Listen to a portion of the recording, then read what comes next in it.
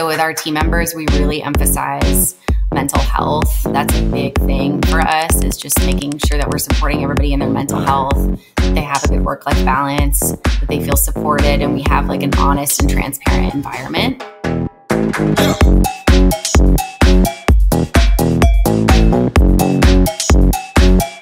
Guys, welcome to the party. I'm excited to be back with another interview episode. I just finished recording. You've got Nicole Kasper of Odyssey Entertainment Group on the show today. She's a friend of mine. I saw her, her business partner, just like a couple weeks ago here in New York. And so I was very excited to get her on the podcast today. She's got a really cool background in music. She's based in Nashville. We talk about how it is to work with a business partner to grow a company from scratch to what's the best way to pitch creators, how are we signing creators, what criteria are we looking for, and how do we hire a team. So it's a women led influencer and artist management company. Like I mentioned, they're based in Nashville, Tennessee. It was co founded by Nicole, who's on today, and Paige Kosinski back in February of 2021. The company has grown a ton and has nine full time team members, and they manage over 50 exclusive creators in a pretty short period of time they've grown to that extent which is huge they have a focus on innovation excellence and they've successfully executed over 2,000 campaigns since the beginning. So, this is a group that is doing it. And they have incredible conversion rates we talk about in terms of outbound pitching. So, we get into that today as well. This is a good conversation. so, I'm excited for you guys to listen. And towards the end of the conversation, we were recording when the House passed legislation for either TikTok to sell their company to a US entity or the US is going to ban the app. So we found that out kind of live while we were recording. It was very fresh. So curious to hear what you guys think about that. I hear a lot of voices talking about, but TikTok is amplifying the voices of the younger generation. How could they ever remove this app? And there's so many influencers and related companies who make a livelihood. Their entire livelihood is based on the existence of this app. Well, what I don't hear anybody really in the influencer marketing industry talking about are the real concerns of why it's going to be potentially banned in the first place, which is security, national security. I don't have the answers for all of it. I'm like not well versed enough to really like give you the ins and outs of what that looks like, but I understand the concern. And I think that it's a very legitimate concern. And so I would just argue and just say that if you're advocating for creators on TikTok and that's your main argument, then fantastic and shout it from the rooftops. I would also implore you to additionally have all of the information in terms of the counter argument, right? Like, I want everyone to be really knowledgeable, more knowledgeable than me at this point. I'm going to go and do a bunch of research after we record this about what is the real fear. I know enough to say that it's all about security and where the data is going. If I am correct, I think that there are laws in China that basically allow information from Chinese owned companies to get to the government and to have like government oversight, basically.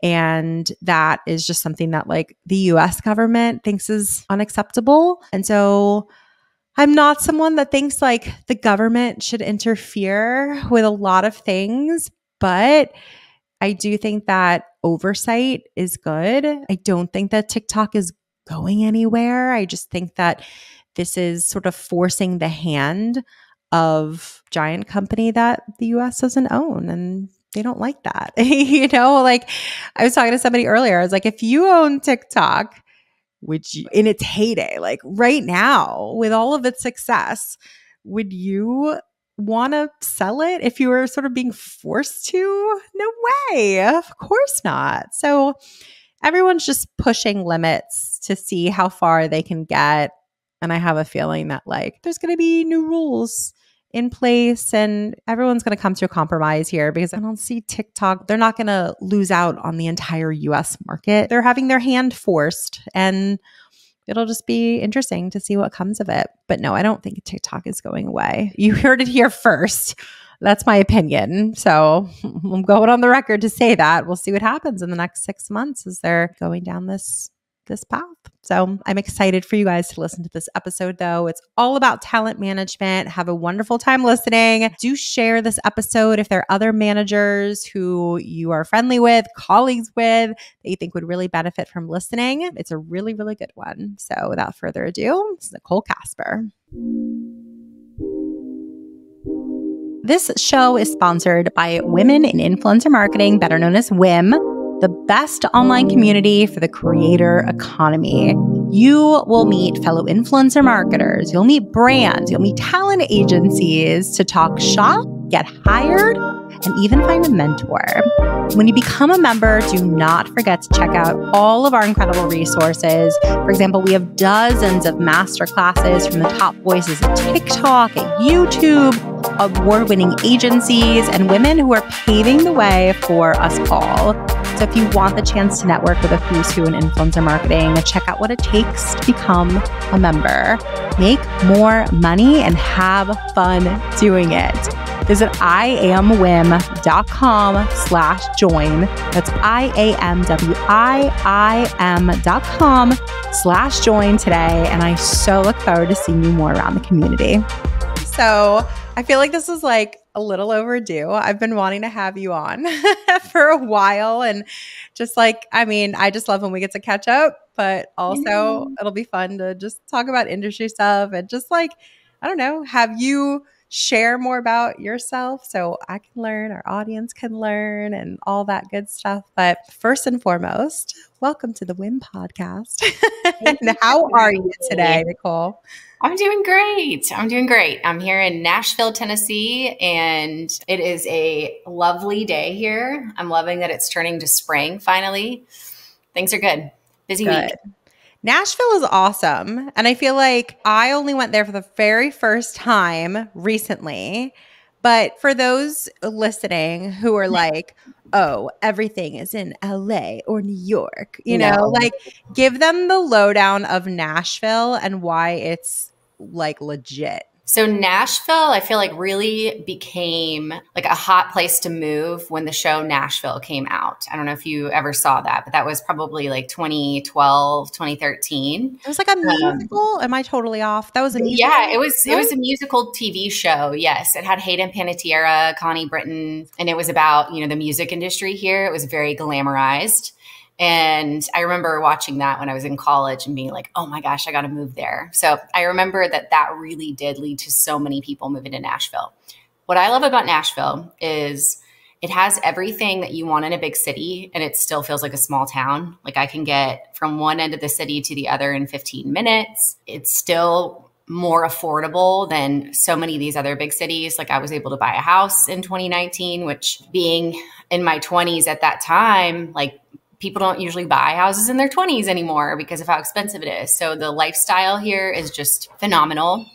And we have great food. It's definitely kind of a melting pot of people moving from all over here, which I love too. And you've got the countryside, and we are surrounded by so many different states. I think we've got, I want to say it's like seven states or something that you can, you're bordering so I can drive to the beach in like six and a half, seven hours and go to Chicago. I can go to North Carolina, South Carolina, like Memphis, Tennessee is awesome. It's really like a, a hub for being able to travel.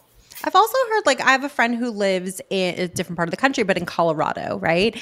And mm-hmm. like so for her perspective, she's like, I love it because I can get anywhere on a flight so much faster than most people because you're like in between a bunch of places too. So I feel like it makes traveling better. But like also just I don't know, Nashville's a really cool city. I, yes. I've heard things for years and I was like very curious about it. We went for like the shortest little spontaneous trip, but I loved it. And we like when we're recording this, we just recently hosted our mm-hmm. first event in Nashville. Amazing.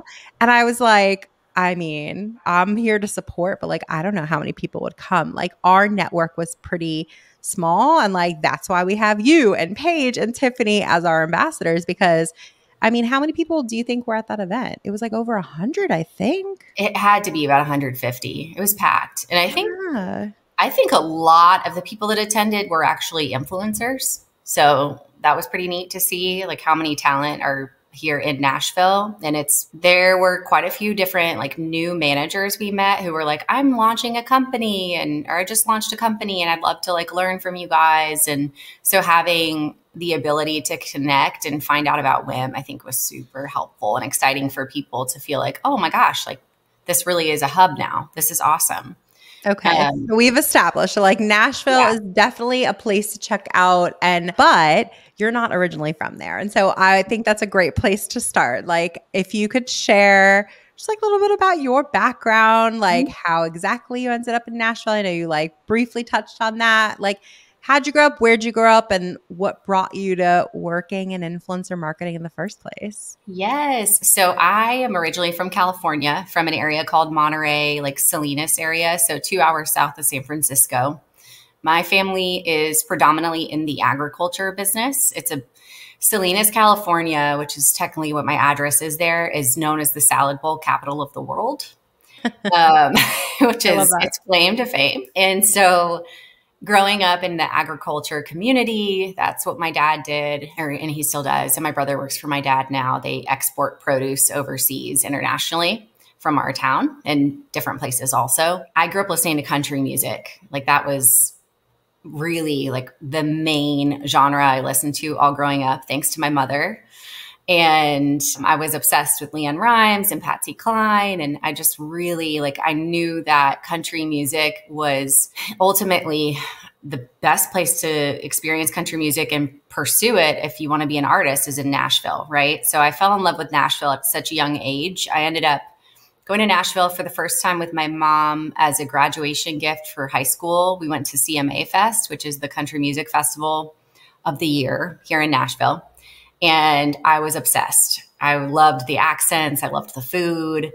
People were so friendly, just that Southern hospitality. And the music industry here was just booming, right? So, fell in love with Nashville. I really wanted to be a country music singer myself. I wished on every birthday cake every year to be a famous country singer. Like I was obsessed. I wanted to be the next LeAnn Rimes and did all the like competitions, sang the national anthem for the rodeo, the jazz festival, all this stuff. Well, I ended up going to UCLA and I ended up in the music department, but on the business side and I was still doing music. I ended up launching a new acapella group there. So I was very into, I lived pitch perfect. It was co ed, it was a fun group, residence acapella. So I launched that group, which I feel like was kind of a gateway to me becoming an entrepreneur, honestly, like starting something and it's continuing. They're competing, like they're one of the top groups on campus, which they've got like nine groups on campus at UCLA. They take acapella very seriously.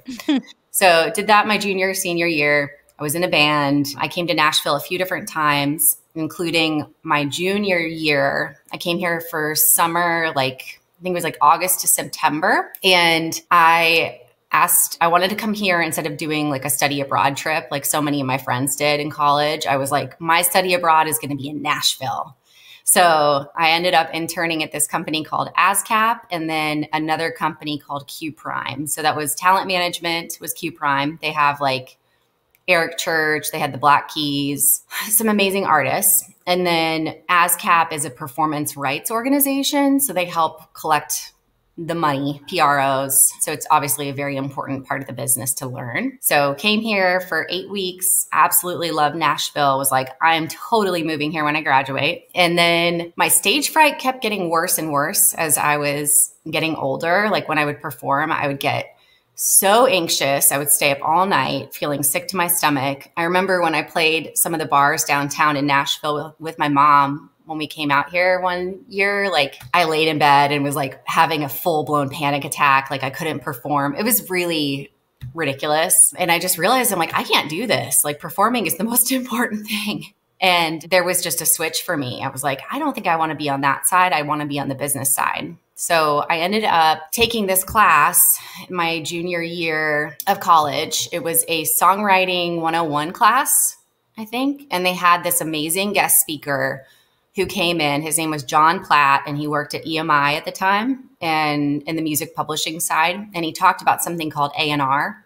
A&R is it stands for artists and repertoire. They're the people at record labels and publishing companies that look for new talent. They're kind of like it feels very it sounds very glamorous. So they're the people that are going to the clubs and scouting new talent and bringing them in for label you know opportunities to try and sign them. And then they're also looking for songs for them too. They help with the recording process. And i was like that is what i want to do right so i was determined to figure out how i could do that and then i ended up being very interested in working on the record label side not only in a&r but also my dream was to work at a company called big machine records they had taylor swift at that time this was like 2014. Scott Borchetta was the head of the company and he was an icon. He was you know, a big part of the show Nashville as far as like I think they owned the soundtrack or there was something there that they were a part of. They had American Idol. He was like a guest judge or something on American Idol at one point. They had the hottest acts in country music. It was like Thomas Rhett, Florida Georgia Line. They were blowing up. And he it seemed like a very fast-paced kind of LA type label in Nashville which I really liked coming from California. I was just very impressed by the whole thing. So I'm like, I have to work there and I have to do A&R. So I ended up, I think it was my senior year. Sorry, I'm going way too into depth probably on this. No, no, this is, it's, I'm enjoying it. No, please go, random. No, it's a random story. So, senior year, right? So, I interned at Universal for about two years in college doing marketing. So, college marketing. And I loved that really, really did enjoy that. And then I did like 12 different internships throughout college because I was very type A. Like, I've got to do what I can to get a job because I knew how competitive it was. And if moving to Nashville, I was not going to be going to Belmont, which is like where a lot of the kids that get music industry jobs go. So I felt like I was kind of an outsider and I needed to do what I could to stand out. So went crazy with the internships. It was my senior year and I was interviewing for different jobs, um, trying to get a job ahead of time, which I remember people kept telling me, like, you just got to move and be present to win. Like, you're not going to get a job ahead of time. That's impossible. I was still going to try and do it. They put me through some recruiter to help with getting a job at Big Machine because I think I hit up everybody on LinkedIn possible that worked there, like a crazy person. so, very persistent, which I will say, like, being on the other side of things now, looking to hire people as often as we are, I wish people were more persistent because it would really help them rise to the top.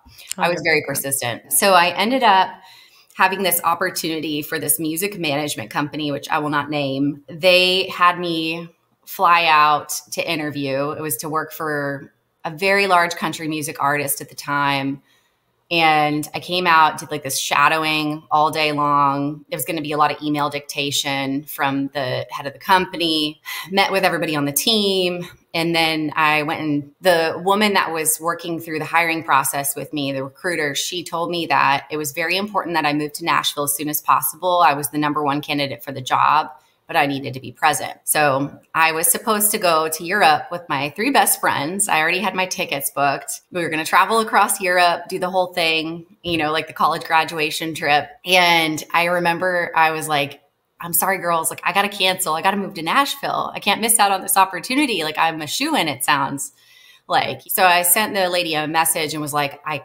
canceled my trip. I'm moving to Nashville. I'm getting there early. And I kid you not, like I moved because uh, I wasn't supposed to move into my apartment complex until August. I ended up moving here a month and a half earlier than that and was subleasing somebody's apartment. The day before my flight, I get an email saying I didn't get the job. Oh my God.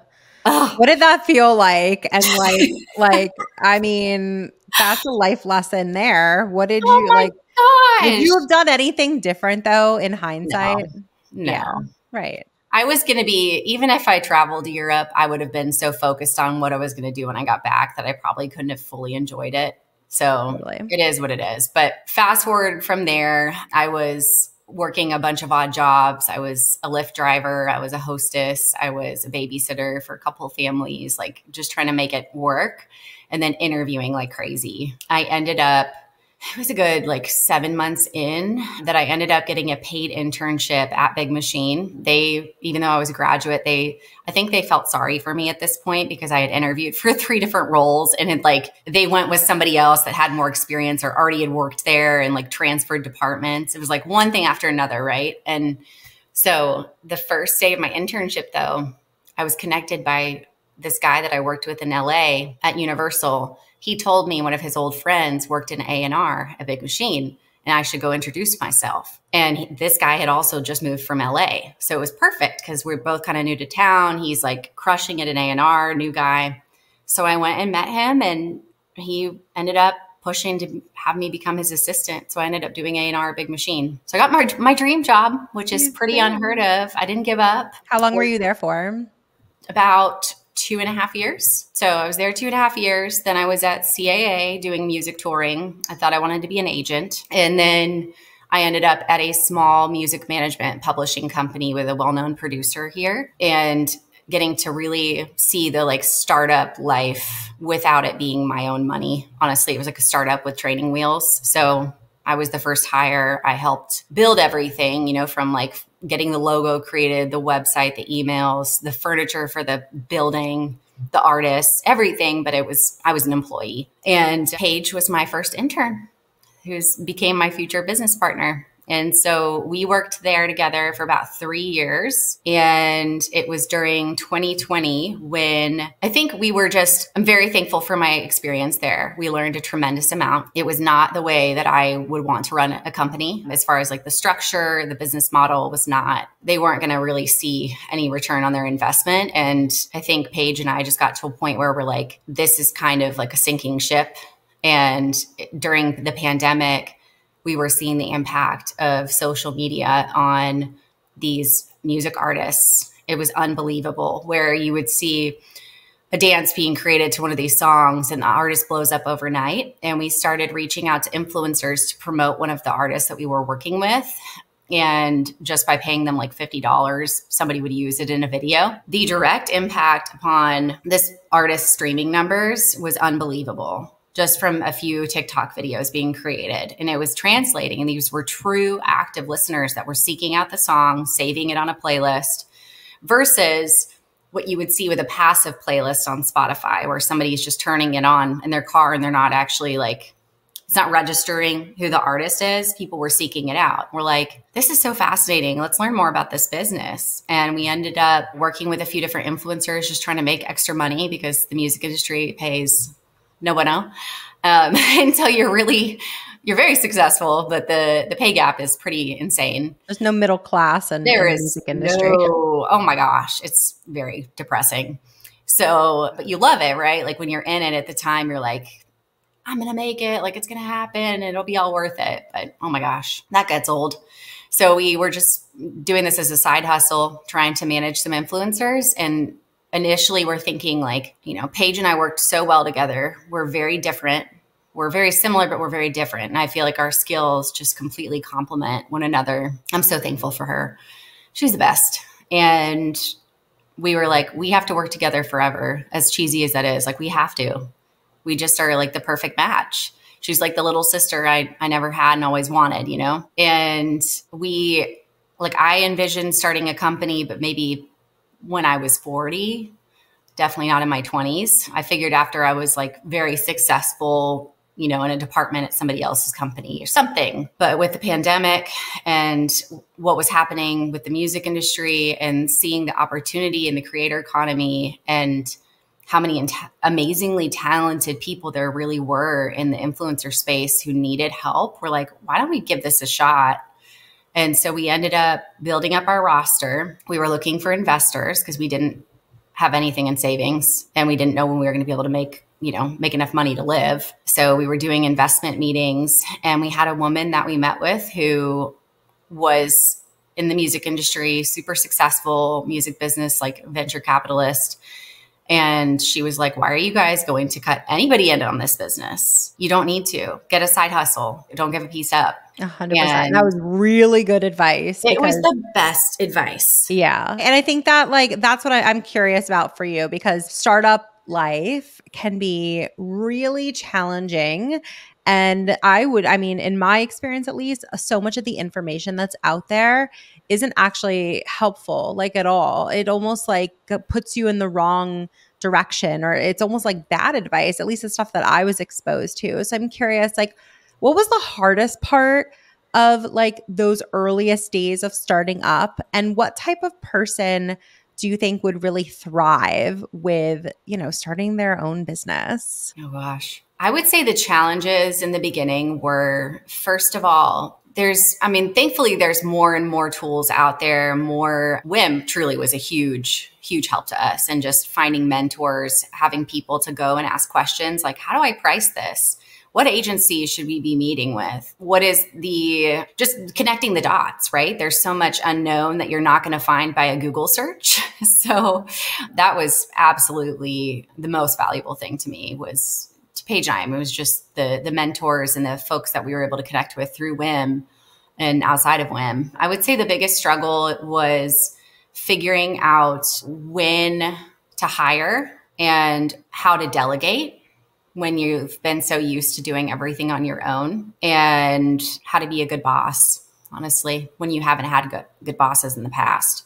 Mm, so, well, that's a really good point, especially coming from like, the music industry. I don't know. I come from the entertainment yes. industry, so I guess I can only speak from that. But I can imagine there's probably some crossover there in terms of I don't know if you ever watched Entourage, but like I think of like you know yeah. like the Ari Golds of the world, and like that's like what people used to aspire to be, you know, or that was just what to expect if you work either in entertainment, perhaps in music, where like that's like the measure of success and treating people like that. So yeah, without a proper person to emulate, it can, there's definitely like a fear there. It's like, I don't want to repeat these bad yeah. patterns. Like, I know what I went through. I want to do better, but like, what do I, how do I, you know, I'm trained almost to like do it in a certain way. So, like, how have you navigated that? Like, do you feel like it's still a work in progress? Do you feel mm-hmm. like you just had to trust your gut? Do you feel like having a business partner really helped in that capacity? Like what really helped currently helps you be the type of like leader you want to be? Yeah, I think the most important thing to me was obviously we want Odyssey to be very successful and we do want to make good money. But at the end of the day, I would rather be a mildly successful company that has an amazing reputation as a good place to work, like a healthy place to work with a great company culture and where our team members feel supported. Because as somebody who's had, honestly, like I know this sounds dramatic, but a lot of workplace trauma through my no, it doesn't sound dramatic at all. A lot of people experience that, so no, not at all a lot of painful things that I went through, especially think back to like how naive I was when I first got that like first big job in the music industry. And I was so focused on like my job was my identity for the longest time. I think I got really sucked into that. And when you're in entertainment, it can feel like nothing else in the world matters. You're in this little bubble and you, it's really easy to let your ego go crazy. There's a lot of egos around you. And the end of the day, it's not rocket science. You're not saving lives. like a job is a job. And so I think I needed a lot of the experiences that I had to really like humble me, help me realize that I am not my job. That my job is just a part of me. It's something that I love to do, but I have a lot more to offer the world than what I can do as an owner of a company. And so with our team members, we really emphasize mental health. Mm-hmm. That's a big thing for us is just making sure that we're supporting everybody in their mental health, that they have a good work life balance, that they feel supported, and we have like an honest and transparent environment. So, trying to do everything that I can to do the opposite of what I experienced as an employee and just being willing to listen. And I, I love feedback. Like, I'm somebody who thrives to hear the hard truth. And if I did something that has been harmful or made anybody feel any kind of way, like I want to know so I can work on it and learn from it. I think that is so important. Well, it's also super admirable that you're taking what sounds like was a challenging experience as an employee and trying to like flip it so that people working for you hopefully don't have the opposite experience that you did. And so I'm curious because it's a fa- you know, you're talking about mental health and I feel like as a like a co-founder, founder of a company, like there's challenges. We like to get real on this podcast and not just talk about like the pretty moments, but also be like it can be fucking hard to like start a company, launch a company. Like you feel the highs more as the owner, but you also feel the lows 10, 100 times more as the owner of a company when things go awry. You talked about hiring. Like I've been there when, you know, people quit, you have to fire someone, like things just don't work out. Like those are some of the toughest days, whether it's an employee or a creator or someone that you're doing business with. Like, it almost can sometimes feel as if it's like this never ending like loop where things are just continuing to be a challenge after challenge. And so if I were to say like the type of person that would thrive in a startup environment. It's someone who's like really kind of loves a problem solving, not just as good at it because like you got to be good at it, but like you have to actually like enjoy solving those puzzles because you're going to be putting out fires, solving puzzles all the time. Quick question for you guys. How much do you love redlining agreements? Yeah, me too. Let me tell you about our latest sponsor called Kaveat. So, Kaveat with K is an AI powered contracting platform that simplifies and automates your contracts. It'll hugely improve the way that you review partnership agreements. So, if you're a media company or an entertainment company or a management firm, it's a must have tool. Sometimes you do need to hire a lawyer, an expensive lawyer nonetheless, to work on an agreement because it's over a certain threshold, and a good lawyer can be invaluable. But what about all those other partnerships, those other contracts that are for $5,000 even like $1,000? That's where Kaveat comes in to support you and your team through AI to process your contracts to gain a competitive edge through data driven insights and automatic AI driven red lines. It's game changing tech and it's founded by three brilliant women. So, you know why I'm out here supporting it. Get time back in your day because Kaveat will help you with the part of your business that may be your least favorite. So, head to our website. It's iamwiim.com slash kaveat for a completely free trial. That's I A M W I I M dot com slash K A V E A T. I hope you guys love it as much as I do. But I'm curious in terms of like the mental health capacity, what's been your experience as a founder and managing your own mental health as you have the ups and downs of a business? Yeah, that's a great question. It's a mix of things. I think for me, it's figuring out what are those activities that I can do for my own mental health after work. So whether it's going and doing a Pilates class or going for walks, going for a walk in the morning to like set my day out on the right tone, that's really helpful. Spending time with people outside of entertainment, most all my friends are outside of entertainment. So they can really keep me grounded and tell me about their life as an accountant or, you know what I mean? Bring me back to reality that I'm not like saving the world here. That is really helpful. And I think therapy is amazing. Like that's been a huge part for me in my life. And then having those trusted mentors that you can vent to also, right? Like people that you feel like get it are in the trenches too and they've had similar experiences because they've been doing it for longer and they can talk you off the ledge when you're feeling really stressed and upset because you can have some low lows. And the biggest thing for me also has been having an amazing business partner. I know there's a lot of people that have done this without business partners and they do an amazing job. I would never want to do this without a business partner though, because there are so many situations where Paige and I we're pretty much always on the same page. It's pretty incredible. That being said, I'm a little bit more of like a risk taker. I'm more impulsive. She's more logical and I think strategic. She's she moves slower. She's like, take a deep breath. Let's not do that. And I'm like, let's do it now. So I'm like you. yeah.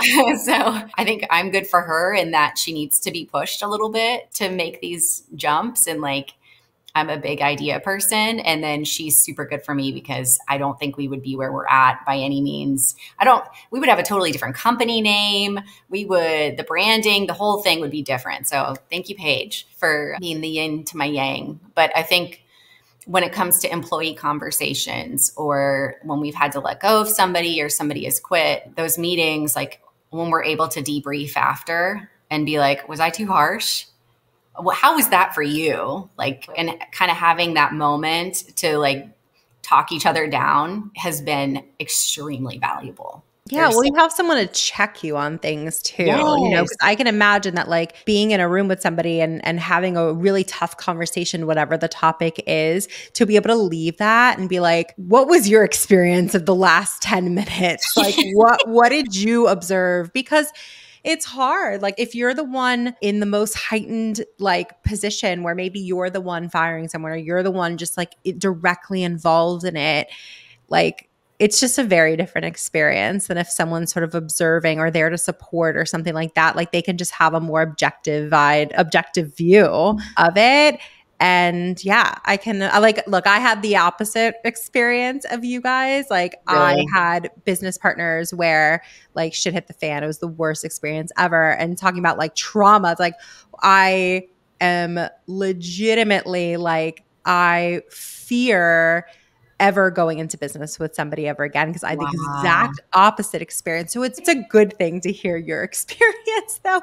You have the ideal experience. Like, that's incredible. That's amazing Very to be able to have the yin to your yang, like you said. So, in terms of like building out the team. You know, I think that a lot of, for sure, certainly members of WIIM, huge chunk of our membership are talent managers and a lot of them are solopreneurs and sort of like at the precipice of like do i hire? Do i get a business partner? Do i get an investor? Like how do i grow? And most managers you know they see all this money coming in and all this opportunity and you know rightfully so they get excited to grow. But i think the question as any entrepreneur is like when to grow, how to grow, and to be strategic about it because it could also, you know, you can also make the wrong moves and deplete funds or resources and head in the wrong direction. So I'd love for us to like dig into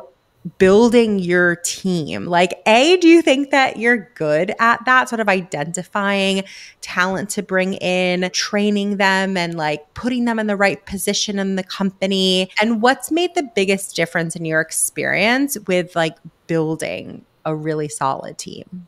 Yeah. So I would say that we're both getting a lot better at it. In the beginning, we're kind of on round two of Odyssey employees, to be honest. We're on Odyssey 2.0, I would like to say with our team members, we have a completely different team than we did that first year and a half, two years. And that's because when we first started out, transparently, we started, you know, with the budget that we had we didn't hire too quickly. I feel like we were very strategic. And when we hired, I think we hired our first employee about eight months in to having launched full time. The first eight months, Paige and I had it split where I would do all of the negotiations, kind of the sales role and the contracts. And then she would do the campaign management. And so we had about probably 25 creators at that point before we finally brought on an employee. Our first employees, though, would be partially because of budget. What we could afford were people that were great people, you know, had a lot of experience in internships, but didn't necessarily have full time work experience. So we were hiring a lot of new grads. And those team members, I'm super thankful for them and the impact they made on our company. And we really did have some great team members they did not necessarily, and each situation was different, right? The majority of them, I would say, didn't know exactly what talent management entailed. And it is a lifestyle. And even though we do emphasize work life balance and setting boundaries, 100%, that's so important. If you're not comfortable with sending a campaign email for something that's time sensitive at 7 p.m., like we've got a problem because somebody's got to. And that was the biggest thing was people not necessarily knowing is this the type of lifestyle that I'm willing to commit to? Is this an industry that I really enjoy? Also, it's hard to not take it personally. Sometimes talent will lash out. Sometimes talent are talent can be ungrateful. Like there's a lot of things that you see being talent facing and so you have to have thick skin and like really have that confidence in who you are and what you're offering the talent and being able to walk away when it's time to walk away. And we found that with those team members, that was a big struggle was just people yeah, not knowing exactly what they wanted to do in their career. Whereas now our team members, every single one of them is like in love with influencer. They love what they do. They're, you know, they each have at least a year and a half, two years of experience in this space. So while they're all still in their like mid to late 20s, they've got some work life experience.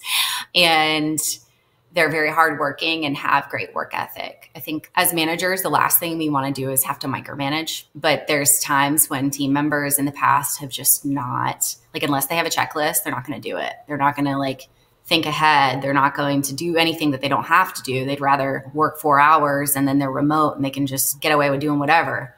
So you run into a lot of issues with that. I think remote work life is hard with a, a startup too, because you can't like even if we're on Teams and I can see if somebody's online, I mean, there's things they can buy on Amazon to make it so their mouse is moving so it looks like they're online.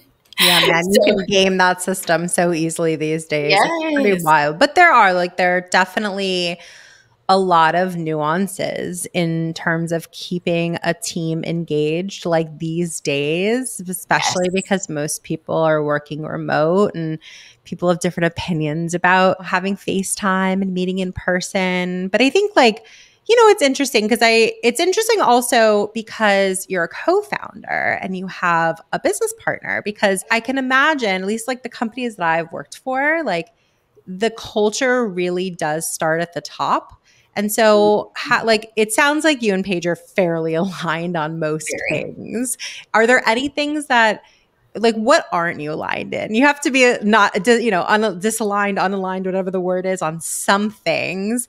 And like, does uh, does any of it ever, like, do you ever like interview someone? You're like, I think this person's amazing, and she's like, No way. Like, have there have you ever had those experiences? No. And no, not with the interviews. We yeah. always know and that's what's been so cool is for the longest time we would do interviews together. We would always do them right off the bat. So now we've got it down to like we'll do the final round together, but we'll split up whatever roles we're hiring for. Like I'll hire for one, she'll hire for one, and then we'll do the final together. But it's kind of like I know that whoever she likes, I'm going to like too. There really has never been an issue there. As far as things that we're not aligned on, oh gosh, Jessy, I don't think I have anything that I can really share right now. I don't think there's anything I can really share on this. That's okay. I would, uh, yeah, I would say truly, like we are very much aligned on most everything. Maybe my desire to expand into the music industry more has been something that we've not seen eye to eye. You could say that. She was very burnt out from the music industry and specifically coming from the marketing side, we've worked with quite a few artists where they have been very hesitant to use social media because they don't want to be known as influencers. They think they're better than influencers, which is the biggest load of crap to me because I'm like, you literally want to sell out an arena. That means you're influencing people to buy tickets to listen to your music. You want to be an influencer. Right. So, and the opportunities that can open up for you with social media, it's like, why would you not use this free platform to connect with people? It makes no sense to me. But she worked with many different artists. Specifically, that was her thing with social media strategy with our talent. And she would do a marketing meeting with them, and then they would not implement a single thing. They would say, Oh, yes, thank you for this time. She'd spend hours with them, and then they would not listen to anything. And so it is very difficult to actually see success in the music industry. It's like lightning in a bottle, and it can take a very long time to where you're able to actually earn any commission on a music artist. And so it is a huge gamble. Whereas with influencers, it's like the opposite. it's the complete opposite. yeah. You could be earning money immediately. You know, you've got your net 30, but besides that, like you could be doing deals the same week as you sign somebody. So there's that instant guarantee, right? And you don't have that with an artist. And you could spend 10 times the amount of time on one influencer as you do on an artist. It's just so much more work. My heart has always been in music. I think it always will be in music. That's what brought me to Nashville.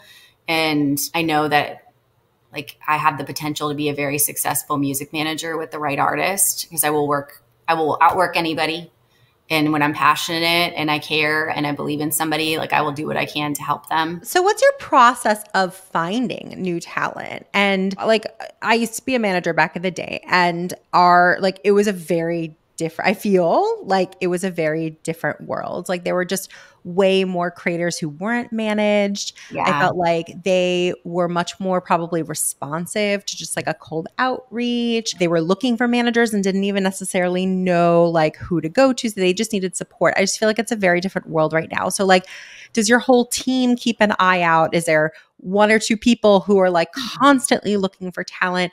Like, how do you reach out? Like, how do you actually like convert a talent that you guys are dying to work with to being yeah. an exclusive client of yours?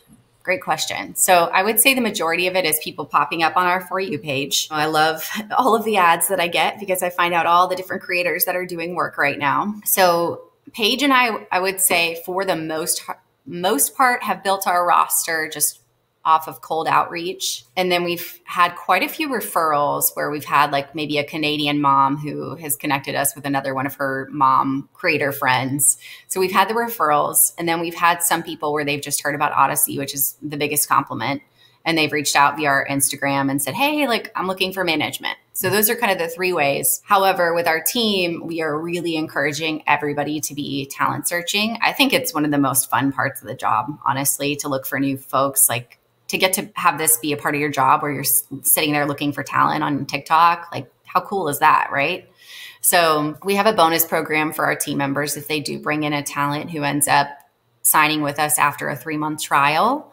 And when we're looking for talent, it is super important that they have high engagement, they're consistently posting.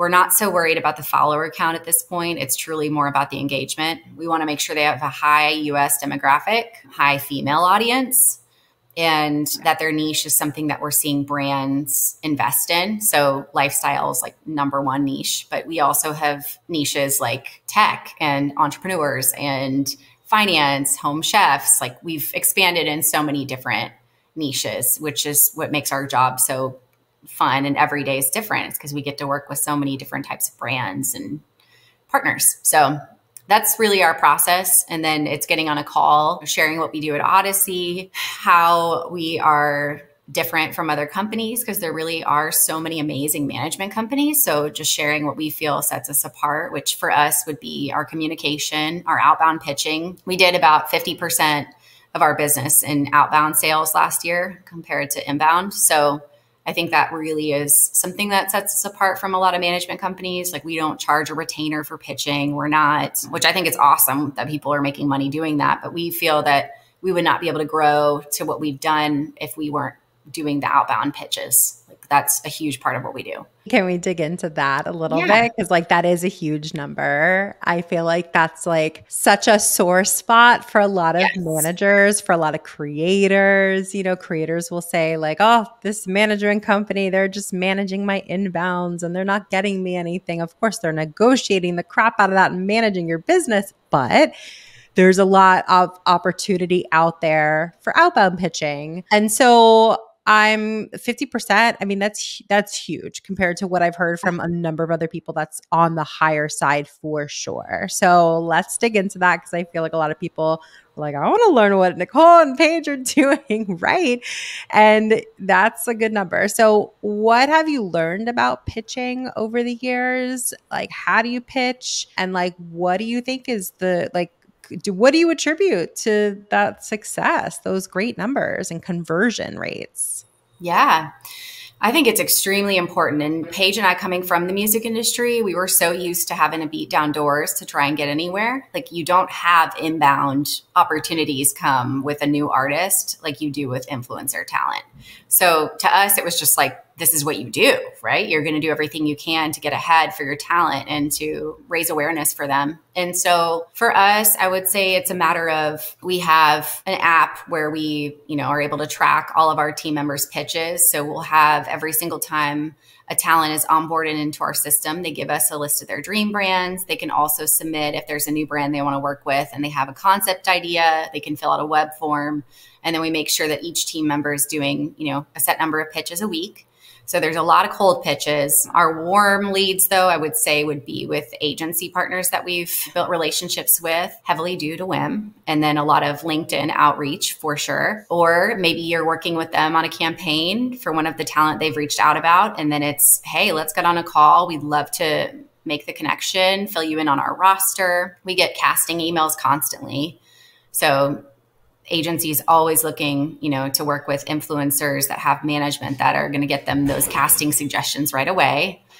And that we're taking the time to explain like why they're a fit. We're not just sending them random people.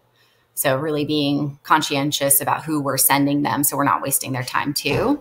And how often are you following up as well? I think that's a question a lot of people wonder. Like, I don't want to bother. Yeah. Like five times. Five times. We say to our team, five times is a sweet number because most times you're not going to hear from them.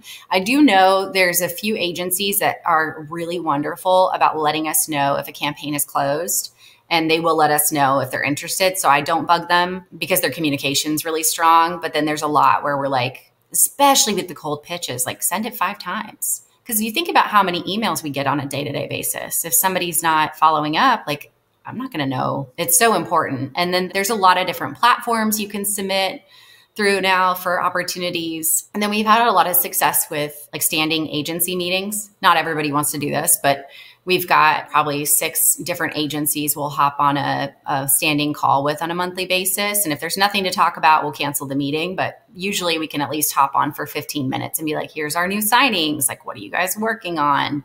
So we're front of mind always. And that's probably the key because, you know, there's so many components of what would make this conversion rate so high, right? Part of it is yeah. what you guys are doing, part of it is the quote unquote product that you're selling, of course, which are your clients.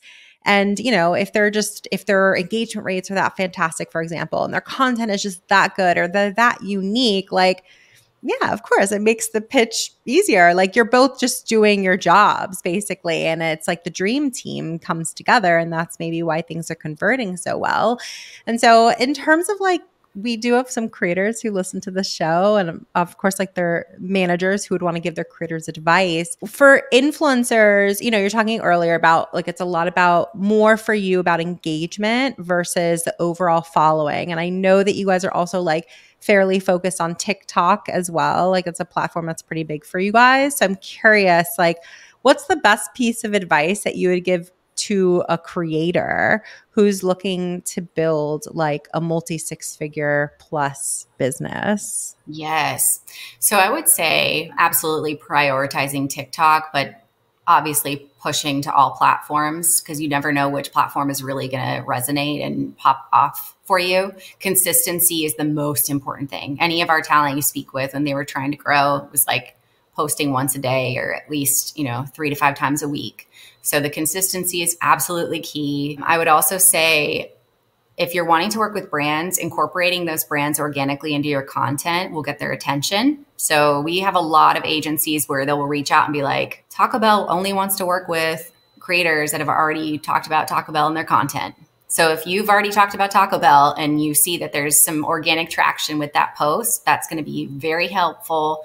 And these brands are checking. They're looking to see who's talking about them and what posts are getting engagement. So I highly recommend doing that organically. And then there's other ways to build your business outside of brand deals too, right? Like, so you've got things like Substack. So if you want to get into the blogging space and you want to earn like on paid subscribers, that's a great way to make some money. We're really digging into that with our talent right now. And then there's digital products you can sell through services like Kajabi is a good one. You can build a community through Mighty Networks. You can jump into podcasting, writing a book. We're working on a couple of different books with our talent right now. So yeah, I mean, don't limit yourself just to brand deals. Brand deals are awesome, but they can come and go, especially with your engagement as it ebbs and flows. So making sure that you're capitalizing on the platform that you're building to promote your own business, your own brand. I love that. And I think that like the diversification that you're talking about is like so key. But also, I mean, the day that we're recording this podcast, there happens to be like another round of legislation, know. you know, that's going through. When you're on this podcast, Paige just sent me a message and she's like, the House passed the bill to ban TikTok. Just a heads up. Oh, they did. Wow. That's wild. I actually didn't see that. Oh, I did see that. Actually, someone posted it in WIIM. Holy crap. So, what are your thoughts on that? Breaking news. That's breaking news. Wild. Well, you know what? People aren't going to just stop using social media. If TikTok is non existent, all of those people are going to be spending that much more time on Instagram or YouTube shorts. So it's just continuing to grow your following on all of these platforms. And there is so much instability in this industry, which is very scary. We just don't know what's to come. You know, it's growing so much. And I, I believe that influencer marketing is always going to be around. It's just going to constantly be changing. So you have to be agile you have to be ready for whatever the next thing is. And that's like, that's the less, I mean, we are talking about like, what's the advice that you would give to a creator about being successful? I feel like that's like the advice to any business owner. And of course, creators are business owners, or you own a management company, whatever it is, it's like the ability to be agile and nimble and to be able to like say all right this is what we're facing this day and we're gonna we're gonna ebb and flow based on that information i personally, like I'm not like 100% privy, I guess, to like